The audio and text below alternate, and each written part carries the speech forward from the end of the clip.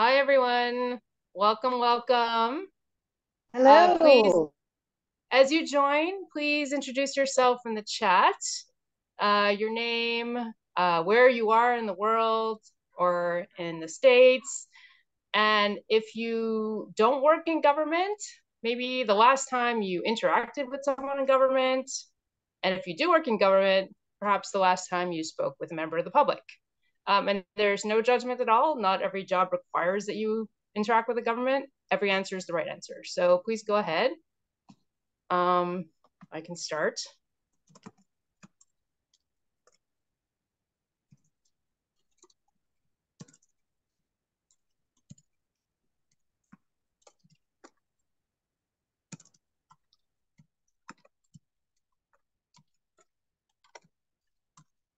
Awesome. We're getting some great answers today.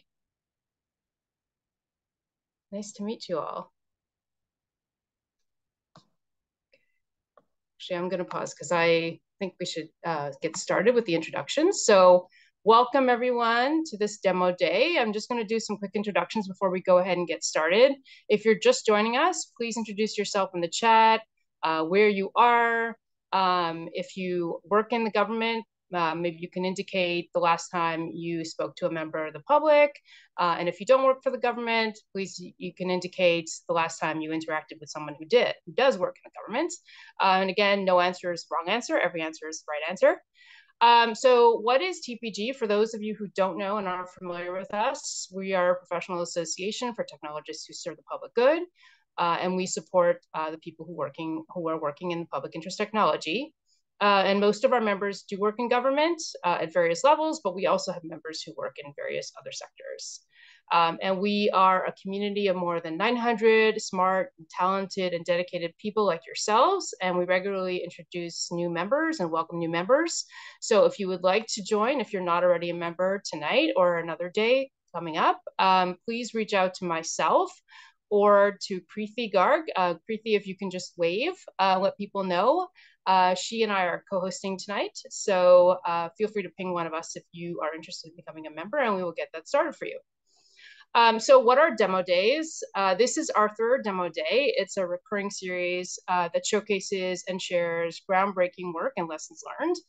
Uh, and we created this event particularly to share work that isn't normally shared. Um, that includes public interest like our speaker tonight, who work in government to improve various processes and outcomes, people who work with or in vulnerable and underserved communities, staff who are at all levels, whose work is generally not highlighted at all, uh, and of course, members like yourself uh, of various disciplines, backgrounds, and levels of experience. And so tonight, we are excited to welcome Jarah Meador. She is a leader of many hats, she leads the she currently leads the crowdsourcing citizen science and prize competition open innovation portfolio at the General Services Administration or GSA, which includes challenge.gov and citizenscience.gov. Previously, she led the Innovation Sourcing Program at the Department of Veterans Affairs Center for Innovation, which includes prize competitions, agency announcements, and pay for success social impact financing. Uh, Jarah has a PhD in cancer biology and is an Air Force veteran. And on a personal note, I'm very interested in public engagement. And how I met Jarah was I asked a question through citizenscience.gov. I figured my email would go into some random inbox, uh, but Jarah answered herself, uh, which led to a conversation, which led to this event uh, which speaks to the kind of leader that Jarah is and to the questions that we'll be talking about tonight and the various ways that the federal government does and can engage with the public. Uh, and with that, I will hand it over to Jarah to kick us off. Uh, thank you so much. Um, thanks for the introduction. Uh, thanks for inviting me to meet your community and to um, share knowledge and insights and I'm really energized. You know, I've spent, I'm in DC right now. I spent the past, uh, from my illustrious hotel room with weird lighting, um, I've spent the past couple of days at this event called the EdX Games that's sponsored by Department of Education, where they bring together um, gamers, uh, game developers, uh, students from elementary school all the way through high school uh, to demo new games and technologies and just to have conversations and uh, share insights. And so I have spent two wonderful days meeting the public, and that always just you know refills my tank. And so I'm I'm on the heels of that. So I'm I'm energized. I'm pumped.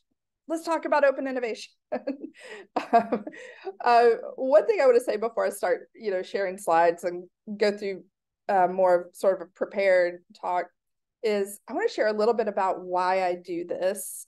Um, you know, from kind of the the bio that that Shira uh, shared and went through, I have kind of this winding path, seemingly winding path career. Um, and so, what's that about? Um, it's really about this this path to kind of understand what motivates science um, what leads to collaborations, how we can develop breakthroughs. Um, I I was a scientist for a long time. Like I'm not one of those scientists that was at the bench and said, I hate this and I'm not doing it and I'm gonna go do something else. No, no, I love science. I I dream about science. It's it's in me. I love it.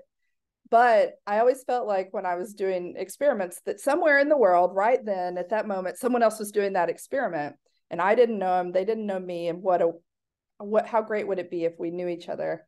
And so I came to the federal government via this um, AAAS Science and Technology Policy Fellowship a decade ago. And I landed at this like wonderful oasis in the government called the Global Development Lab at USAID. And they, with them, I worked on prize competitions. And it really gave me this amazing introduction into problem definition, working with stakeholders, working with people who live closest to problems to understand the kind of results statement in the solution space, and then to design um, and develop innovation with innovators to meet that. And that's kind of the essence of the beauty of prize competitions and open innovation and crowdsourcing.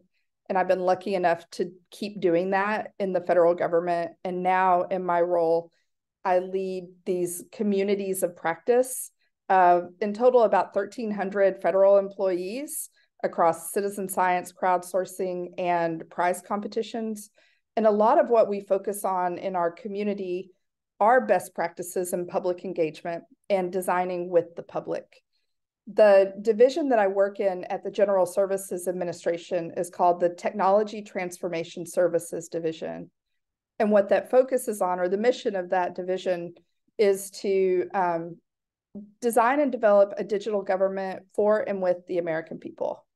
And, and we do that. You know, our sibling programs are programs like vote.gov, the US web design system, uh, data.gov, digital.gov, and on and on. And um, and the work, and so the work that we lead out of General Services um, Administration in crowdsourcing and citizen science is really to put forward the infrastructure that allows the federal government to engage with the public in scientific discovery, innovation, and solutioning. Uh, we also are subject matter experts in how you deploy and use these mechanisms and this kind of methodology for, for innovation. And so I always say that I have the best job in the federal government uh, for what I'm interested in. I also serve on the White House's subcommittee for open science. And so i'm i'm really lucky like to be at this intersection of all these great things right now. And but today what i'm going to talk about is is challenge.gov but if any of y'all ever want to connect with me to talk about any of the other things many things i just mentioned please do as shira said i am really easy to find not only do i have a very unique name that makes me totally unhideable in the world but I will respond to you and I will talk to you. So please, if you want to connect with me, I'd love to meet you all, every one of you. Okay, so now I'm gonna um, share my screen and then I'm gonna share the slides. Just one second. Okay.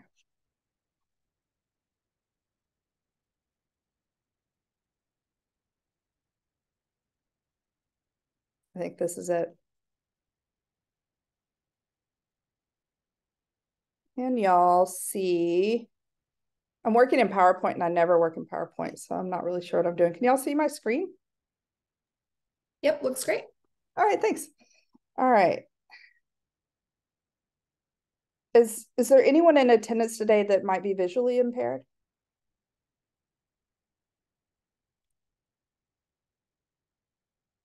No? Okay. All right. Um, okay, so the work that I lead at GSA is mandated by legislation. So during the Obama administration, um, there was the reauthorization of the America Competes Act. And with this, um, with this new legislation or reauthorization of, of existing legislation, it gave the head of every federal agency the authority to run prize competitions. Um, but prize competitions in the federal government are not new. And, you know, if the design for the US Capitol building, prize competition, the White House design, prize competition, transatlantic flight, prize competition.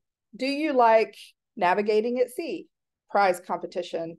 Do you enjoy spam and canned meat? You can thank Napoleon Bonaparte and prize a prize competition.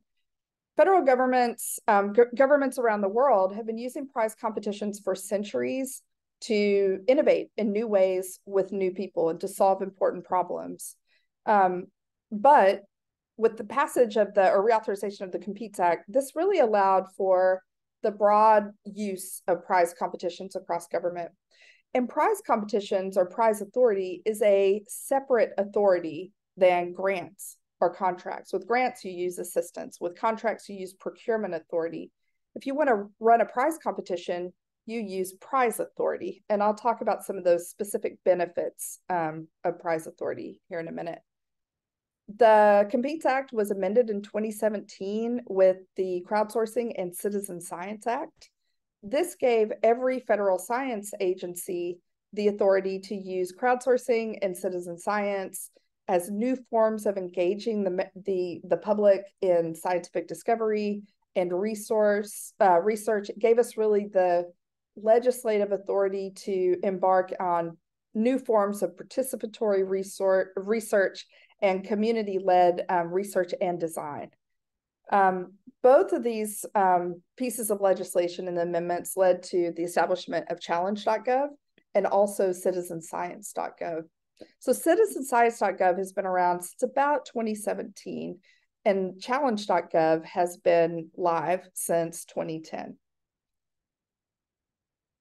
Since 2010, we've hosted on challenge.gov about 2000 competitions but the federal government in that time frame has run many more prize competitions um, if an agency wants to run a prize competition they don't have they're not required to host it on challenge.gov um, although most agencies do the requirement under competes is only that the prize competition must be announced and hosted on a federal website that is available to the public, so fully um, accessible to the public.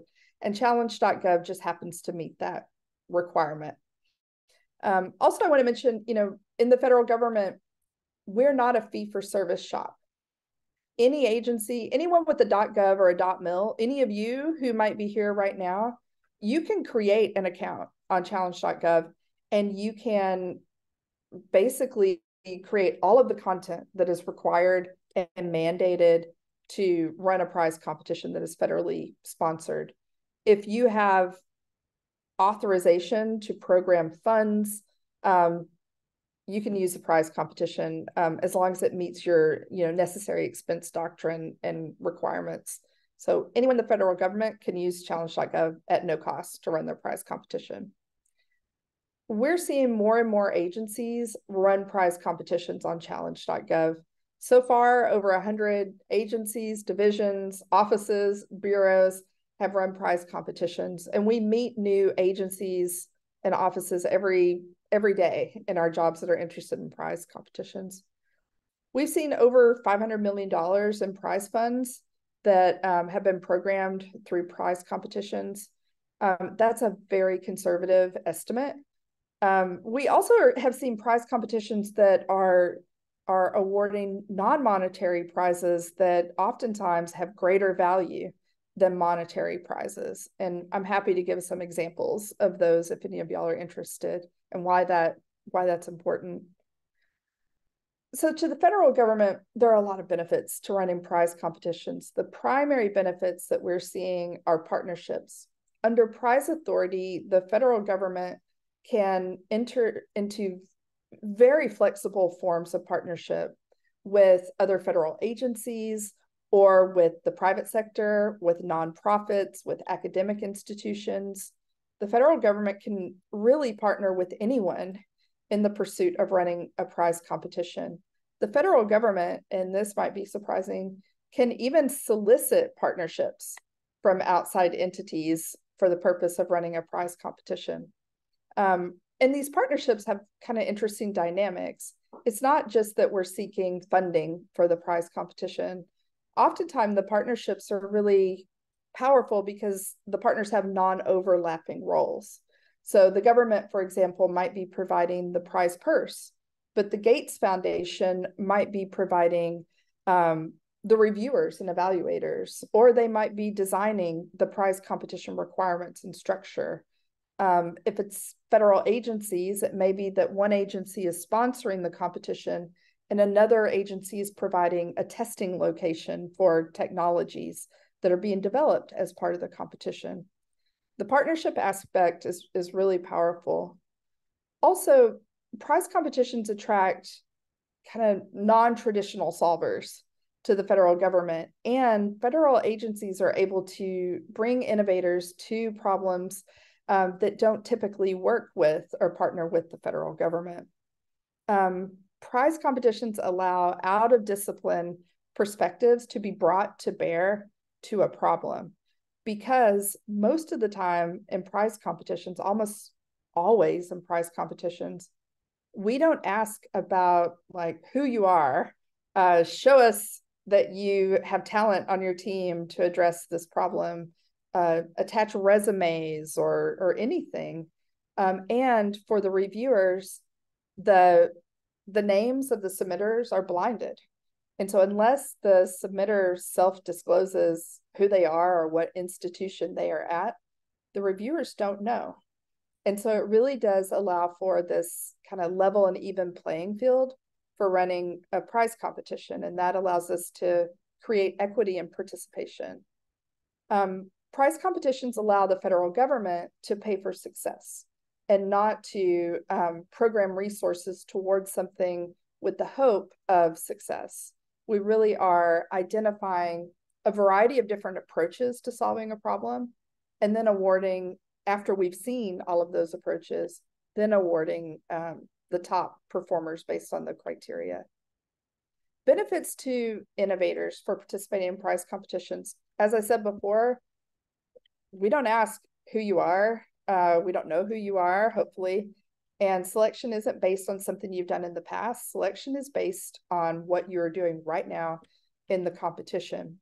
And because of that, what we often see, and I think it's necessary sometimes for transformational innovation, we see that an engineer, for example, that works in a biomedical engineer that works in uh, kidney dialysis, for example, might apply that same technology to water desalination and and you know approach this kind of complex problem in a new way using a technology that traditional water desalinators never would have thought about um, and and it performs with greater efficacy. With prize competitions another thing that's really valuable to innovators is that it's no strings attached funding it really is electronic funds transfer into your bank account when you win a prize competition. There's no reporting um, after the fact. It it really allows you to. Um, it kind of functions like innovation investment funding, non-diluted funding for innovation. The intellectual property remains with the innovator. Um, with contracts and grants, the government can exercise um, this thing called the Bayh-Dole Act, where the government has an intellectual property stake um, and anything that was developed with uh, federal dollars. With prize competitions, we typically do not take an intellectual property stake. that's really important for technologists because when you're seeking follow-on investment, you don't want this federal toothless encumbrance of on your intellectual property. And so it allows you to keep it. Also, um, many agencies, especially Department of Defense now, Department of Homeland Security and GSA, in our prize competitions, we're inserting this clause that basically says if the federal government derives value from the submissions that are received or the innovations we source from this competition, we reserve the right to enter into direct activities with the winners. And so, what that could mean, if you're DARPA, for example, is that the prize competition can serve as like a, a phase one of a sourcing activity. And they can invite the winners of the competitions or anyone who submitted a proposal, they can invite them to directly submit a proposal, thereby limiting the competition uh, for follow-on funding. Some people might think, well, that's that's sole source, or that's not fair. But you know, typically when the federal government, we wouldn't see an example or performance before we awarded that contract. With the competition, we're really able to get a, a better idea of, of what's viable, what's going to be viable out there, and where to make investments. So agencies are using prize competitions really to kind of address a, a diversity of different topics. Some agencies use competitions, um, like if you're NASA, maybe you're you want to use a competition to develop uh, new algorithms for adjusting the ailerons on the International Space Station. that was a competition. Um, or if you're USAID, maybe you want to better predict the next location of genocide. That was a competition. Um, there are business case and entrepreneurship prize competitions, a lot of competitions, about half of them are kind of simple ideation concepting challenges. There are many design competitions um, on challenge.gov. A lot of the design competitions are that are just pure design competitions are focused on architectural design. However, we see a lot of competitions that are using a multi-stage approach where design is one stage of the competition, maybe an early stage, and then the top designs are then invited to prototype in a follow-on stage. We see scientific discovery uh, prize competitions. There's one right now on the platform called the Neuromod or Neuromodulation Prize Competition. In that competition, they're seeking um, new technologies for pain management. What's interesting about that competition, speaking of non monetary awards that have value, is that the winners of the second phase of the competition then work hand in hand with the FDA as mentors for development and fast tracking their technologies for approval. We don't see as many IT um, software competitions anymore. Um, I feel like federal government is kind of shifting away from that, but they used to be very popular. Um, technology um, demonstration hardware competitions, that's my expertise. And we see a lot, we've seen a growth, um, really a huge expansion of the use of prize competitions to develop technology in the federal government. Department of Energy are leaders in this kind of space. Uh, right now, I'd like to, I have a couple of logos on here. One's for the Intersection Safety Challenge from DOT, and one's the Beams Challenge from NIH. And so I want to kind of give y'all to further explain kind of what a prize competition is to describe these two challenges for you in a little bit of detail so you can see, and they're very different competitions in prize purse and also in scope of what we're asking public solvers to do.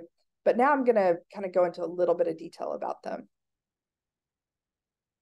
So the intersection safety challenge um, is really the second large scale prize multi-phase prize competition that's been hosted by the Department of Transportation. The first one that I co-designed with them was the in Inclusive Design Challenge that they ran um, or wrapped up a couple of years ago. They found great success in that competition. One of the primary um, success findings that they had was that it it created this really interesting competition between the usual kind of players in transportation design in that space and new people coming into the space. And DOT have been, they decided to run the competition because they had been asking um, auto manufacturers for a long time to really focus on on design of new transportation kind of features and automobiles for those uh, specifically in wheelchairs and or to design um, kind of modification technologies to modify um, uh, vehicles so that they could better be used by those in wheelchairs and the industry really wasn't doing it and so they decided to use a prize competition to surface new ideas, new innovations, new technologies, and to put the industry on notice that DOT cares about this and we're going to innovate in this space. And what happened with that challenge was that the large manufacturers who worked in who should be working in that space came to the challenge and they participated and they participated alongside um, innovators and and companies that had been trying to break into the space but couldn't. And also those kind of new teams university teams even that decided to work on this problem uh, to demonstrate their skill sets and to have a kind of experiential uh, process for demonstrating their skill sets so they found a lot of success with the competition and i think that one was around 2 million or 2.5 million dollars and so they made an investment and decided to do it again, but on a different topic. With the intersection safety challenge, they're really looking to address this problem with intersection safety, wherein um, uh, so road users, as they call them, so any any individual who may be using a road at an intersection, um, they're looking for new technologies so that you can predict and sense when an accident might happen and then prevent it from happening. Because um, in 2020, they found that 27% of all road fatalities happened at an intersection. And so they wanted to address this problem. And so they developed a, it's really a two stage competition, but they're only revealing stage 1A and 1B right now. But in, in stage 1A, they're seeking concepts, kind of high level concepts about how how would you what types of sensors would you develop that basically can can utilize a diversity of different data types at an intersection and then put forward some sort of warning to those that are at the intersection that an, an accident might be imminent. Um, they're going to select i think the top 10 of those concepts and award them up to $100000 each i believe yeah, for a total of $1 million dispersed across those teams. Then they're inviting those 10 teams to participate in the second part of that first phase. They're calling it 1B, where they have a, a intersection and it's a closed course, but there is an intersection and they will be testing these technologies head to head at this intersection uh, and measuring performance across a, a variety of different categories. And from that, they'll select up to five winners. They'll each receive a million dollars. And then, kind of like I was mentioning before, those five winners may be invited to submit a full proposal for a contract to develop their technology out further um, and or to do kind of more advanced piloting and prototyping. So this is a really good example of uh, what i think is a, a, a sophisticated technology development and head-to-head demonstration competition. You know in what i've found in demonstration competitions and how this model is so effective is how the government typically award would award this is there would be a, a rfp a request for proposals that would be announced to develop new technologies for intersection safety and then they would receive proposals that are all just this is my team. We're really good at this. We have a history of doing this. This is how we're going to do it this time to address this problem. And and it's going to be, I don't know, millions of dollars. And then they will select the best written and most convincing proposal, one, to receive that funding. And then they will go off and do it. But in this prize competition model, they're not prescribing, they're not putting forward specific requirements for how this technology needs to be built at all. They're just saying how it must perform and how they're going to measure it. And through this competition framework, they're able to see to, to get the really nice proposals and concepts and whatnot. But they're opening up the field because we're not looking at past performance. So they will have participants they have never met before, that have never come to Department of Transportation to address this problem, maybe for the first time using new, interesting, exciting technology that may work or it may not. But they're going to try it, and it's it's going to be really interesting. And from this competition, they're going to pressure test these prototypes head to head and it won't just be based on how well somebody wrote this. It's going to be based on how it performs. And that is in my mind how it should be. And then they're going to fund with a follow-on contract the thing that performed really well as a prototype. And i think that's beautiful. And to me that exemplifies like the power of this type of approach. But not everything is a $6 million multi phase, complicated technical competition. And that's what I love about my job. The Beams Challenge from the NIH, this challenge is, is seeking to address this problem where what they're seeing, and, this is from the, um, it's the National Biomedical I- Imaging Institute. And what they're seeing is that students aren't really being exposed to imaging technologies and data re- with with regard to imaging and biomedical engineering applications in healthcare until they're in college. And so a lot of students who may have been interested in pursuing this have already decided on some other path because they weren't exposed at a young enough age. And so they've decided to address that to to to launch this competition that is seeking lesson plans and curriculum for four 40 minute 45 minute classes to introduce middle school students grades six through eight to biomedical engineering. And so this is going to be educators and teachers who are submitting their lesson plans in this competition. And if they win they're going to award five five thousand dollar prizes to these teachers. And and then if you win, the winning lesson plans will be made publicly available to any student, high school teacher or middle school teacher who wants to use them across the world. And so I love this competition. I think this competition has potential for impact. I think the prize amount is right. I think it's got like all the right ingredients for making a wonderful prize competition and it's not complicated you know, there's another prize competition on the site that I wish I could compete in because I love photography. And it's the National Park Service.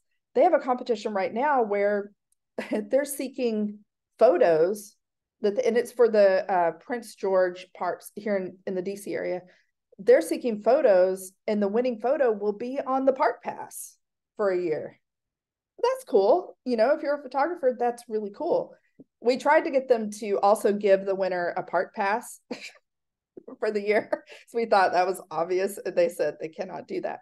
But um, but yeah, uh, I just I think that you know with prize competitions, you really there's kind of a prize competition for everyone. right now on the site, I think we have 45 prize competitions that are open, that are active for participation, and they're awarding over $40 million and prize competitions. And there'll be new competitions that are posted tomorrow, and some of them will fall off. Um, these two competitions I just kind of briefly described are live and are active on challenge.gov right now. One of them closes, I think, on the 25th. But there really is a competition kind of for everyone out there based on something you're interested in, based on something that you may have a skill set or a solution for, or you may not. And it might be a reach for you, but why not try? And and the on the website there the barrier to participation we have made it so low. All you need is an email address. You create an account on challenge.gov as a solver. There's a very simple entry form and you submit your entry. Um, prize competitions really are kind of opening up the door for public participation and innovation. We're seeing a huge growth in the use of prize competitions across the federal government. Um, the technology demonstration uh, types of competitions are growing faster than any other type of competition. Prize purses are increasing too because agencies are making greater investments in this mechanism for um, innovation. Over 70% of all prize competitions have a partner. Um, I think that's really important. It's profound. It really demonstrates how prize authority is so different than the other authorities. Um, when primary use cases for competitions, what I hear every single week from some like beat down grants manager at some agency, I'll say, why do you want to run a prize competition? And what they say almost always is, we've been running this grant program for years.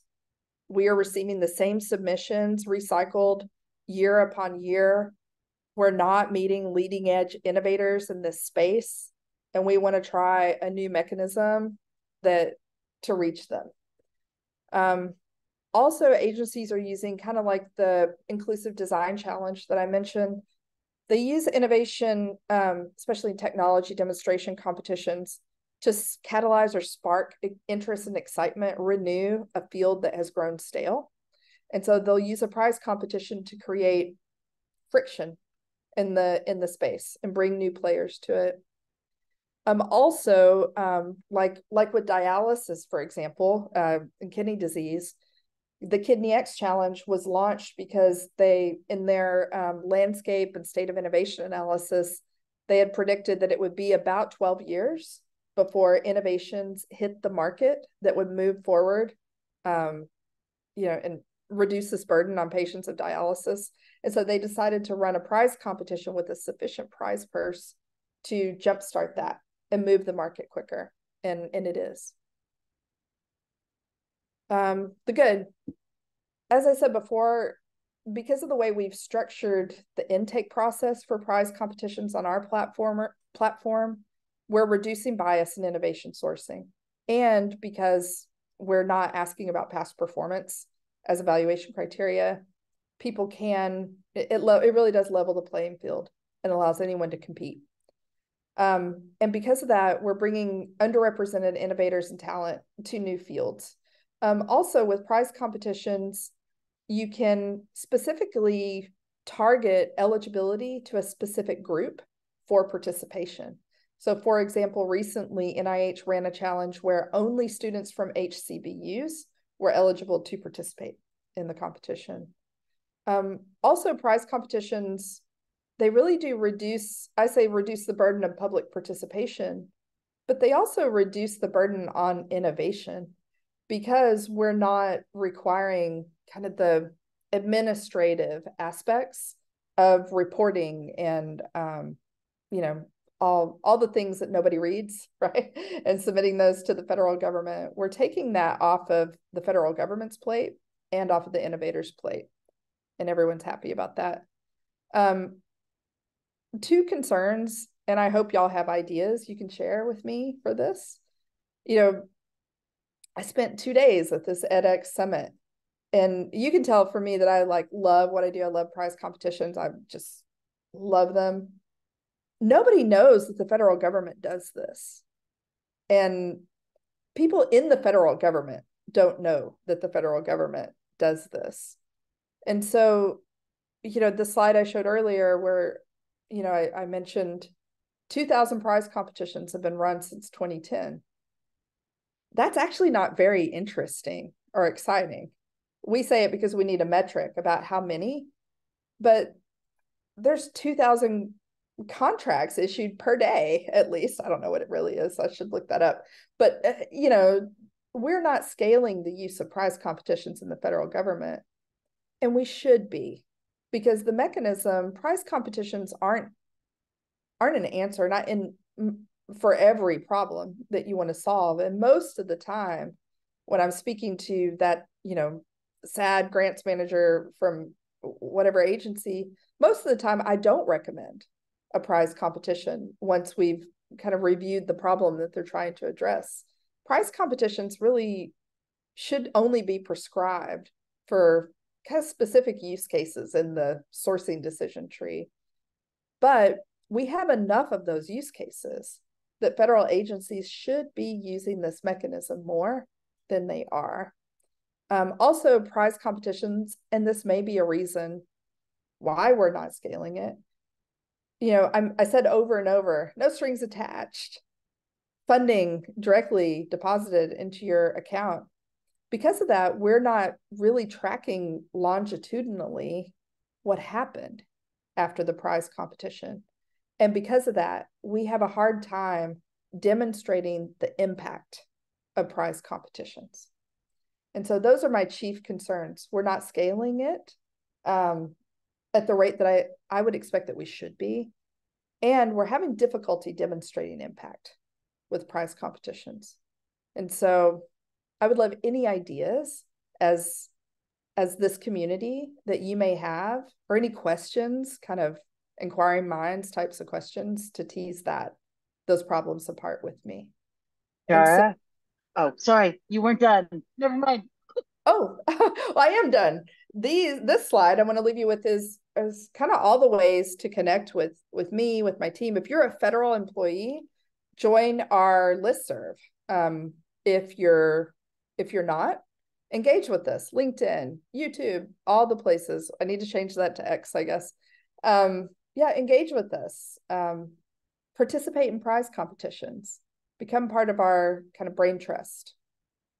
And with that, I'll turn it over to y'all for questions and conversation. Okay, I'm sorry that I stepped on you a minute ago, Joe. I oh, no. love everything that is happening here. Um, I've been in government tech for a really long time. I've been on the government side. I worked at the Innovation Center at CMS and the hunger for getting new ideas and the barrier to entry for the people who want to bring those new ideas into procurement, you've just kind of Gordian knotted it and have found a way to do it. Um, sorry, very excited. Please, other people can talk now. No, thanks for that. Thanks for that. Thank you, Jarah. Thank you so much for that. Uh, yes, everyone who has questions, I know that there were a number of questions in the chat and I can start um, going through those, but I also encourage everyone to jump in because I'm I also, just to echo Laura, super excited. Really, I love what you're doing. And it, I, I'd love to hear how we can track longitudinally. But before we get into that, I just wanted to highlight some of the questions that were asked before. So we had someone ask about um, if you could speak to the examples of non-monetary prizes um, earlier uh, in your presentation. Yeah, abs absolutely. Um, you know what we found is that some solver communities or or kind of subject area communities, the notion of competing with each other um, and there being winners and there being losers is actually uh, a disincentive for participation in prize competitions. Uh, we see that in the arts community uh, primarily, and NASA recognized that. And so they ran a competition years ago that I love called Artists Inspiring Astronauts, where NASA sought art in any medium that could be displayed in the uh, astronauts' crew quarters at Kennedy Space Station before they went on a mission. And um, and so, if you can imagine, you're an artist, you get this private gallery showing with astronauts before they go into space, with the purpose of inspiring them for space travel. And so that competition was very popular, and it was just it was a win at every level the other examples of non-monetary um, are, you know, like I said, with the the neuromodulation prize, and they also did this with the first KidneyX prize, where once you had made it to a, a certain round in the com- in the competition, then you were able to work closely with partners inside of the government to continue to develop your technology and to gain that partnership for taking your technology to the next step, which um, could be you know government testing or it could be um, finding partnership for commercialization Uh, prize competitions, some agencies are looking to um, add advanced market commitments as an endpoint for prize competitions where you're developing um, an, an, asset that the government needs in a certain volume. Um, this is uh, kind of an approach that's being considered by agencies that have a dual use problem, like DoD or um, or NASA, right?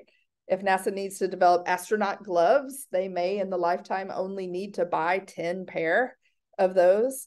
Um, and so what's the incentive for an an innovator to get into that line of business? And so, but yeah, I think the non-monetary the the best non-monetary prizes are developed when the challenge manager works in close partnership with innovators and asks them what do you need?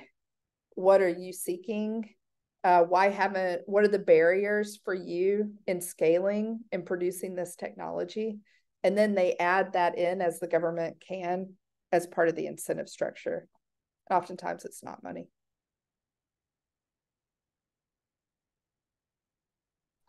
Thanks. Um, okay, so the next question, and Jarah, also, I don't know if you're able to go past 8 p.m. Eastern, uh, if folks have a couple questions, or we can wrap up at 8 if you need to. Uh, but two more questions that I've seen so far, and feel free to jump in if you're if I miss your question. Um, so the next one was um, they'd be interested to know your insight on why there are fewer IT software competitions now.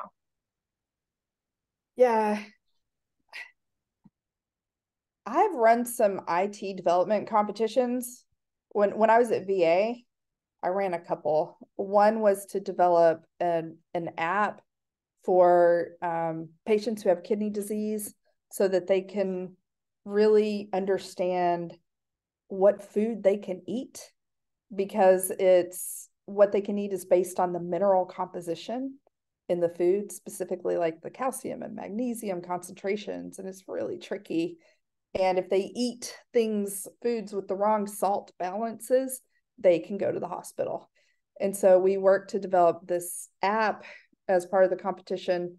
And then we also, I ran another app development, IT development competition to create um, a tool for veterans, families, uh, any service member or veteran that's interred in a national cemetery to create a kind of digital visitor and legacy space where people that that describes their service the medals they were awarded um, that has gps location uh, kind of like find a grave where you can and and also the ability to see the grave um, and visit it memorialize a veteran.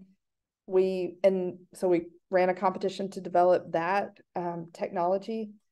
IT development competitions are really hard in the federal government because it, it's one thing to, to to code and to design and then to code, you know, a, a piece of software.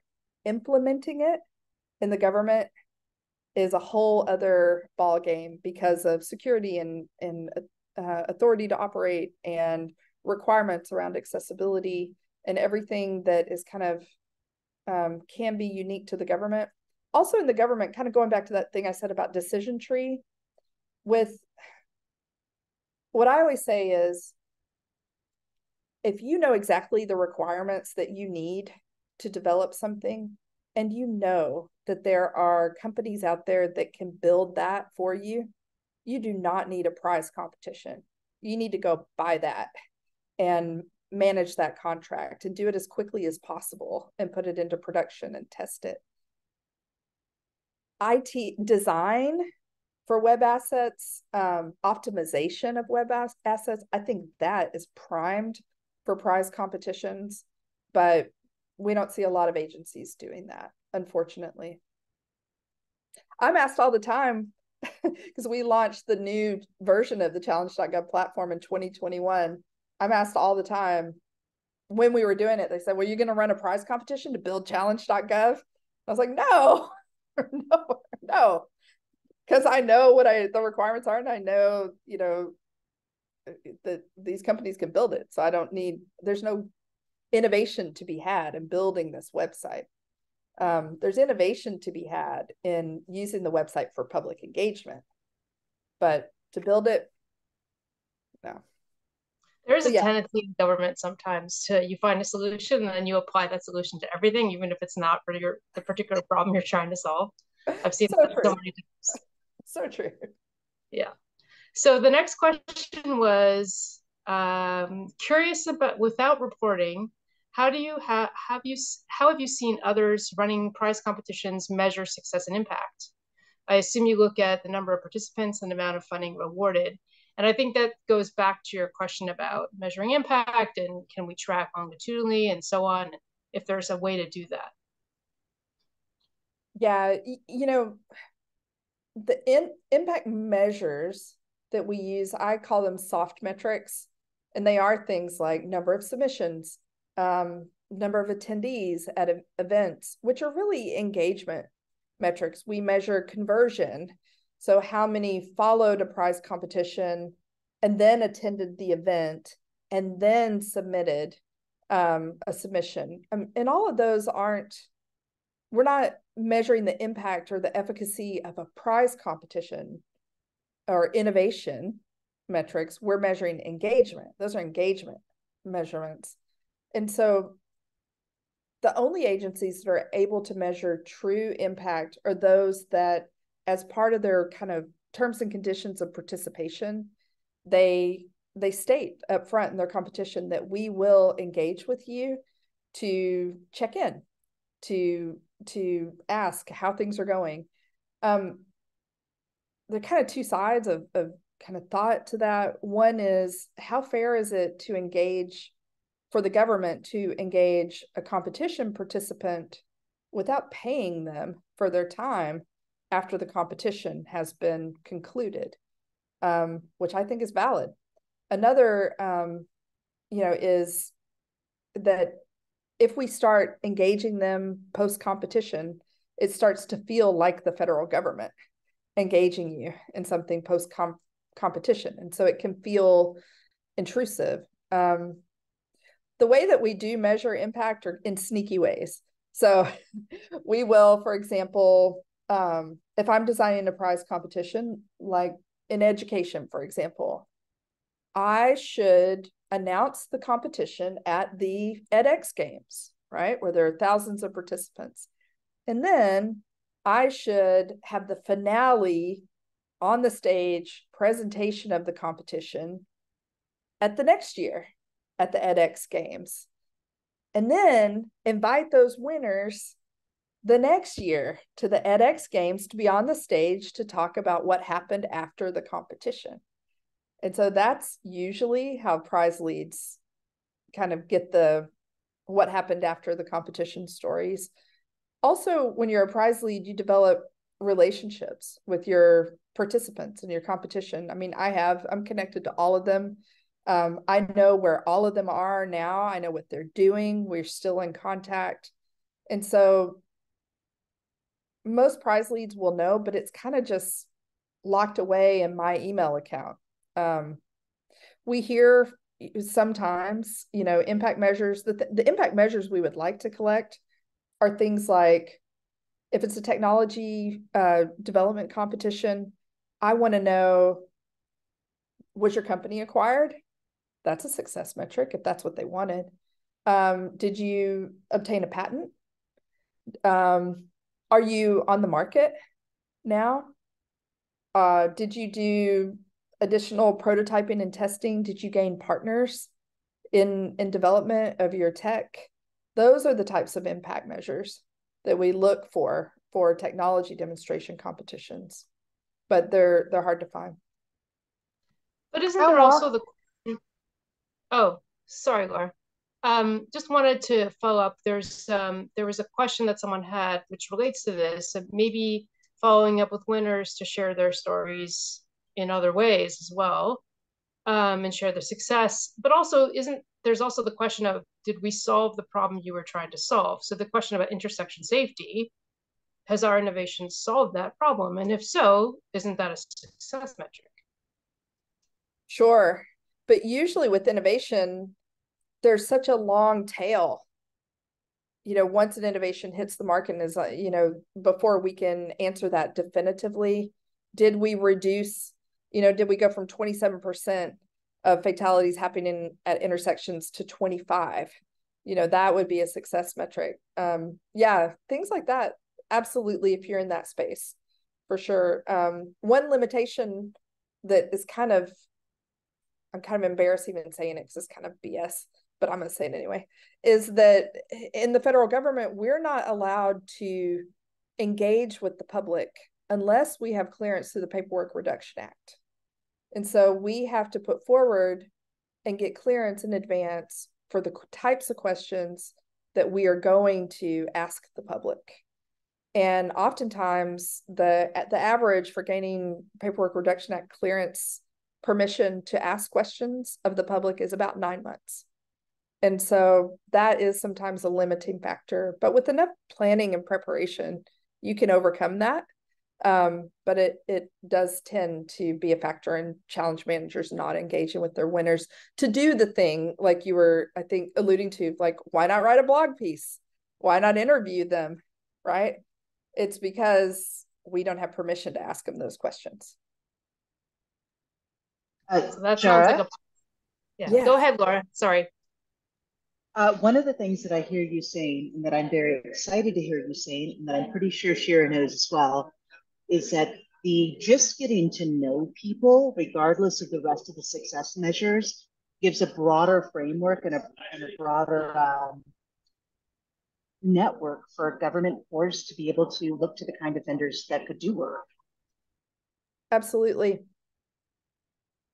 You're right. Yeah, what what GSA has started doing with their prize competitions is they use a, an authority called Commercial Solutions Offering, and so winners of the competition can now um, gain a CSO that allows any federal agency to work directly with them to develop technology within the scope of what they develop for the competition.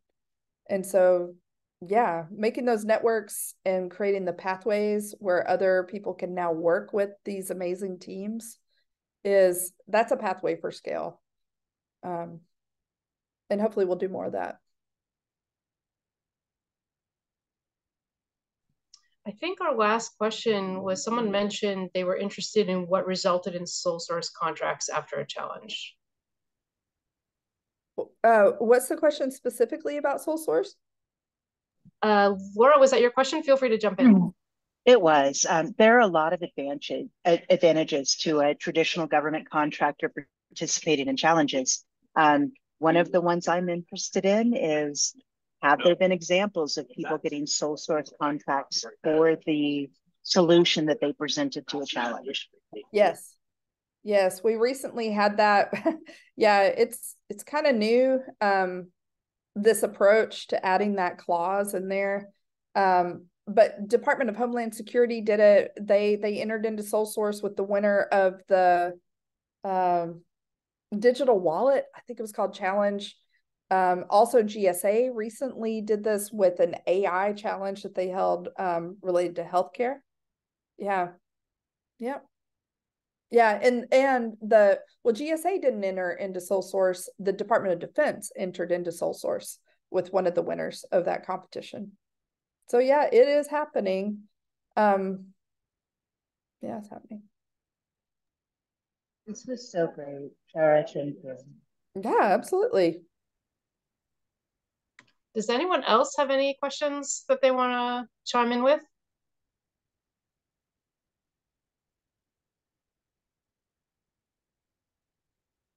I just think this is so fascinating though, Jarah, because like um it's just, you know, if if you're I imagine the approach for innovation is the best ideas come from anywhere. And so if the best ideas come from anywhere, then that tracking becomes more of a challenge and it becomes harder to scale because nothing is the same. Uh, all problems are different, all solutions are different. So how do you how do you scale it? How do you standardize it? Like anyway, a lot of food for thought here. So thank you so much for sharing. Um, thank you all for coming. Um, and we will share the recording um, and get back to you with it. And uh, Jarah, we're looking forward to continuing this conversation uh, with uh, the folks here and folks who weren't able to, to attend from our community. Um, and so thank you again very much for your time. Thanks. So, it was great to meet y'all. Excellent. Have a great night, everyone. Take care. Thanks, Jim. Bye. Bye.